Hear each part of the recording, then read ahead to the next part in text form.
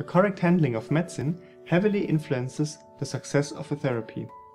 The term compliance covers the time of intake, the dosage, the storage, and interactions with other over-the-counter drugs and food.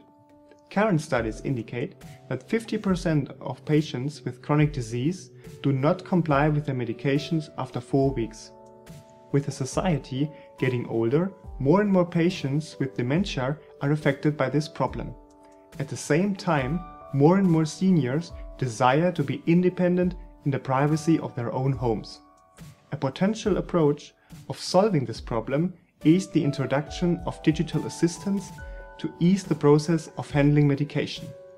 With the average life expectancy increasing, we see more and more people aged 65 and older taking 5 or more medications daily.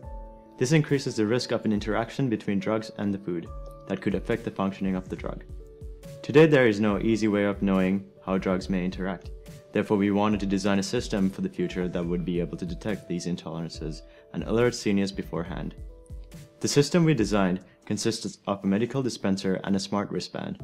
The smart wristband can detect RFID tags and send information to the medical dispenser, where it uses a smart object memory from the cloud to detect the intolerances between drugs and the food. With RFID tags replacing barcodes and labels on products, we see the system becoming quite realistic in the near future. This system works with the 7x4 Pharma blister pack, which arranges your pills in a weekly schedule. The patient would go to the doctor to get their weekly prescription. Once the patient gets home, he would open up the medical dispenser and place the blister on the cover. The medical dispenser itself is designed to work manually with the patient.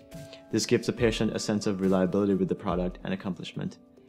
When it's time to take your pill, the correct square will light up, and all the patient has to do is place the cup on the lighted slot and close the cover.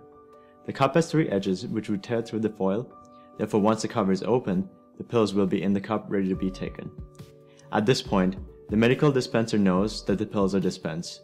If the patient wants to have something with their pills, for example orange juice, the wristband would pick up the RFID signal from the orange juice, vibrate, and show a red light.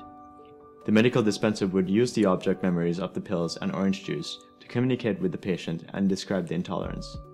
The patient can communicate with the medical dispenser to see what products are safe to take. Is there anything else you would like to try?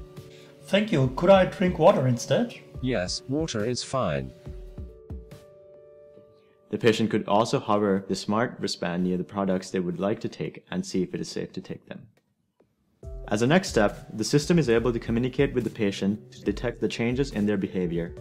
These would be recorded and sent to the doctor wirelessly, providing a more detailed picture of the patient's health, reaction to drugs and their dosages. Signs such as depression, social isolation, that may have not been considered could now be taken into account by the doctor. Having RFID tags in every product can also help the system detect unprescribed drugs, which could be taken by the patient. Sometimes this information may not be translated to the doctor during meetings. Having a dispenser record this information and be able to compute intolerances would really help doctors access patients better and eliminate any awkward personal questions. In conclusion, we believe that this system can make detecting drug intolerances easy for patients and provide enough data to help doctors provide a more personalized treatment for the patient.